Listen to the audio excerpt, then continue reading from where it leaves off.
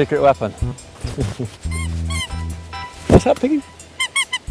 David had white trainers on earlier.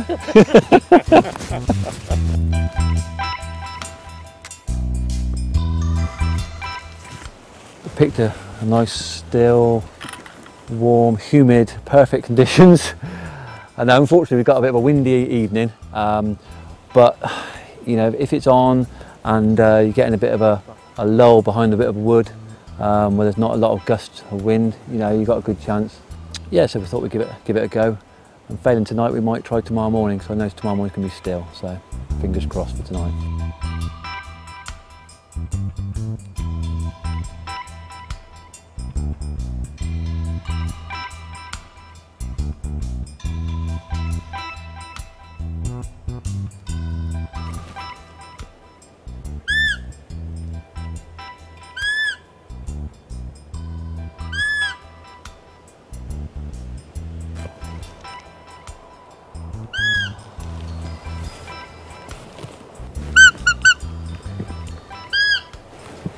Along here, there's a, a young four point, just a four point buck. Uh, laid down 20, 25 yards back in the cover here, in the bracken. Laid down there resting. Obviously, the wind's pushed him down. Couldn't get a clear enough shot, so I give him a couple of squeaks to get him to stand up. We're probably a little bit close. It's good, good to see a buck. Get a bit of action, get a bit of, get a bit of movement. I thought he'd stand when he, before he got to the thick cover, but he didn't want to know, so good. We'll move on to the next.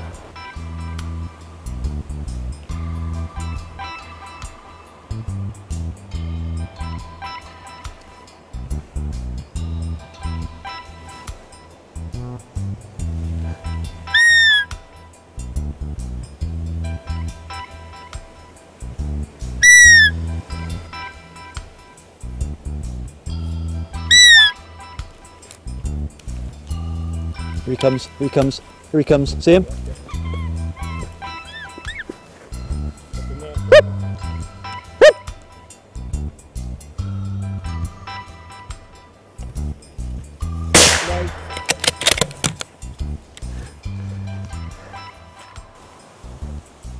Do you know what, right? I'll be honest with you. I sort of knew you couldn't see it, but I knew it was my only opportunity.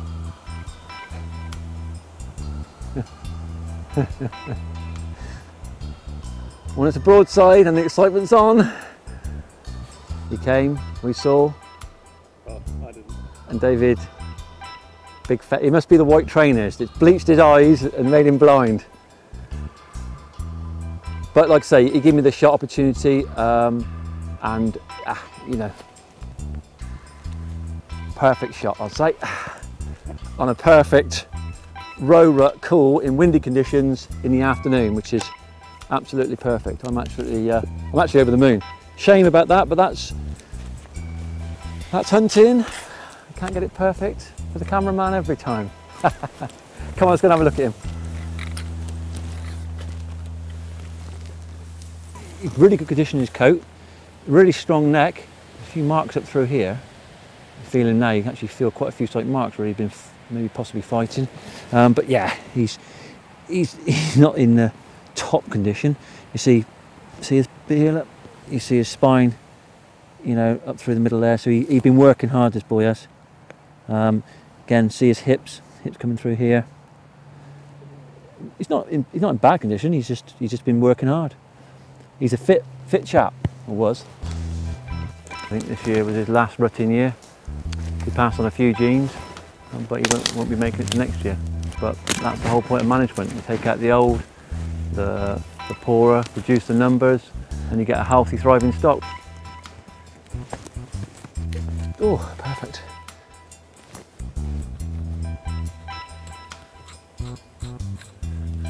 The kit we got on tonight is obviously Shooterking clothing. clothing. Um, it's actually quite a cold night, um, and I suffer with a cold a little bit, so I've actually got them. Wow! Pig. I- I- It's the pig. Oh yeah, the piggies in there. quiet, poor, poor, poor keeper, quiet. Um, so, oh, that in there. Cut. Take three. yeah, so with the Hubertus Cool, uh, comes with a, uh smooth uh, mouthpiece. Uh, this, this, then you blow. Um, so obviously, a buck coming at you or, or in the, in the haste of excitement, you, it just pops straight out your mouth. It does. No matter how it pops out, out. So I always cut a couple of little notches uh, in there, get the teeth in there, and then and if it comes, you can just get it in there. Otherwise, the other way around, you're like, up, and away it goes. So, yeah, it's a little tip.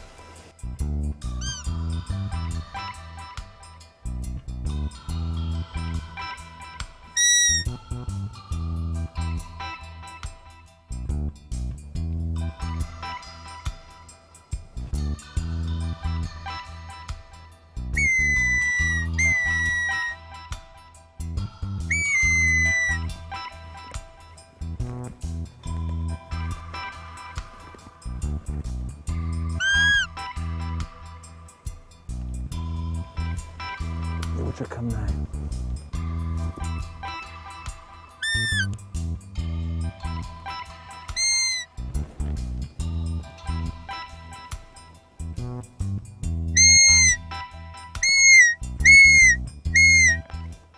So you were playing two tunes at some points in the evening. Explain that for me, Paul. uh, the Pied Piper. Yeah, basically the whole point of these calls is you're trying to mimic, imitate another deer. She was alerted with a loud blast of the Buttolo when she was further away, and then we put her to the squeak, so it's more like, a fawn squeaking, and she, you know, stamping her foot and really aggressive, trying to see if the fawn was okay. Um, you always got to watch the animals and watch the, the reaction of the animal. No good just blasting away and hope for the best. But unfortunately, we'll have to try him on a muntjac, I think. We've run out. Percy, be quiet. He gets deflated. That's enough. That's the- that's the noise. well, that's that's for Muntjac. We'll Save it for Muntjac. We'll try it for muntjac. Yeah. Yeah, so good night, Percy. after you. Night, night. Calling, everybody's got their own art of calling.